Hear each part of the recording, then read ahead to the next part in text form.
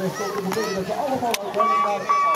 of nou, naar de rechterkant moeten. Ze moeten er allemaal links doen op hun de te komen.